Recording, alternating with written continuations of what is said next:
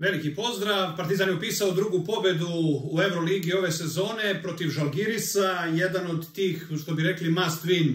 mečeva u kojima ako želite nešto tipa play-off mora da pobedite, bez obzira što ovaj tim je pokazao da verovatno je danas izgubio zbog katastrofalno loše izvedenih slobodnih bacanja i tako dalje, ali tim koji je sposoban da pobedi velike timove, ali u načelu ipak tim koji ako hoćete u gornji doma, ne u klub G17+, dakle mora da pobeđujete kod kuće. Partizan dobio 11 razlike, jedna vrlo ovako, e, da kažem, utakmica u kojoj je Partizan e, imao e, vođstvo praktično celu utakmicu,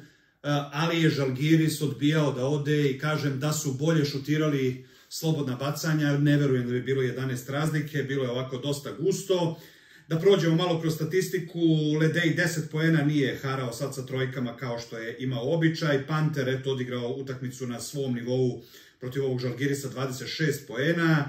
Naneli 10 poena, Exum 11 poena, Lesor 10 poena, dakle vidite i sami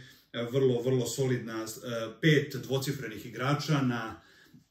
evropskom formatu igre, dakle to uopšte nije malo. E, tako da su to otprilike ti podaci. E, dakle, može se smatrati Partizan dosta timskom igrom uspeo to da pobedi, iako je glavni, e, glavni akter ovoga svega bio, bio Panter, očigledno. Tako da, ono što je ekstremno bitno ovde konstatovati, to je da je Partizan uspeo da izbegne dramu, a drama se crtala zato što je ekipa Žalgirisa, zaista kažem, glupo je reći da iko želi da odustane, ali nije, nije se predavala celu utakmicu i na kraju Partizan uspeo u finišu to da slomi. E, kod njih, e, ako dobro vidimo ovde, Evans 16 poena, Smith 11 poena,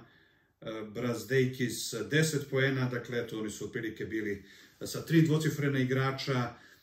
vrlo tvrda, gotovo onako rovovska utakmica u kojoj je Partizan uspeo da pobedi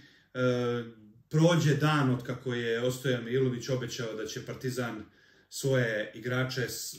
koji mogu da igraju za reprezentaciju Srbije ustupiti i neće igrati Euroligu. Sad zvuči absurdno, Nebojša Čović mudro ćuti, znači ne, ništa slično nisam uspeo da pročitam. Tako da možemo doći do absurda da tim koji ima daleko veći uspeh u Euroligi ove sezone žrtvuje Euroligu zarad uh, interesa Srbije, a da Zvezda Srbija, koja za, još uvek čeka prvu pobedu, e, još uvek nije rekla da li će dati svoje igrače e, srpskog porekla za reprezentaciju u ovim prozorima, što govori, kažem, u jednoj šizofreniji, u jednom naopakom shvatanju patriotizma koji ovde se očigledno svodi na e, pljačku sobstvene države, a ništa vezano za pomoć e, nekom nacionalnom sportu, nekim višim interesima srpske košarke i tako dalje. Nadam se da će se to promeniti. Besmisleno je da Partizan daje igrače koji ima evo dve pobede i tri poraza, a da Zvezda koja je vezala valjda prva četiri ili šta već nema, e, nema još uvek potvrdu da će davati igrače koji, mislim, prosto to je onako krajnje bizarno. Šta mene tu, da kažemo, najviše ovde e, raduje, to je ipak nezanemarljiva e, uloga, e, da kažemo, tih igrača koji, od kojih se to i očekuje, dakle nije bilo tog prevelikog ludovanja, dakle Panter je ovoga puta bio, kažem, ona verzija zbog koje se očekuje od njega da bude kapiten, da bude lider i tako dalje, naravno protiv ovog tima ovde, pa ćemo videti kako će to ići dalje, ali u svakom slučaju e,